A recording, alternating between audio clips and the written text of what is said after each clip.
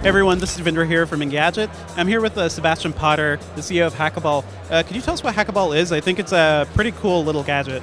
Yeah, certainly. This is Hackaball. It's a children's toy. It's a soft, round rubber ball, um, and at its core, it has uh, a smart brain with LEDs, motion sensors, and vibration. And it's designed to allow kids to learn how to program uh, in a really simple way uh, and to have fun uh, and, and to be active outside instead of being sat around on a sofa all day uh, playing games. Um, so, what sort of games can uh, kids make with Hackaball? Uh, pretty much anything their imagination can come up with. So this is an example here. Uh, this was um, a game that kids came up with in testing where the ball is a dragon's egg uh, and they have to pass it around between each other without waking up the dragon inside it. Um, and it's a really simple game. Um, so here we have a set of rules that say when the game starts, we're going to uh, turn green.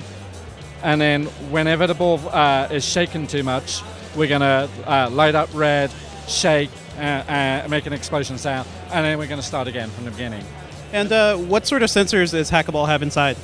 So it's got a six-axis motion sensor, um, and you know, motion sensor is probably quite a complicated thing for kids. So what we built are a simple set of rules that say um, uh, we can detect when it's spinning, when it's rolling, when you throw it, drop it, bounce it, these kind of things.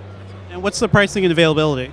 It's $85 in the US. We've just sold out of our initial uh, uh, run of pre orders, so we're going to be taking new pre orders. Um, the first batch will be delivered in March, and then uh, we're hoping to be generally available from June.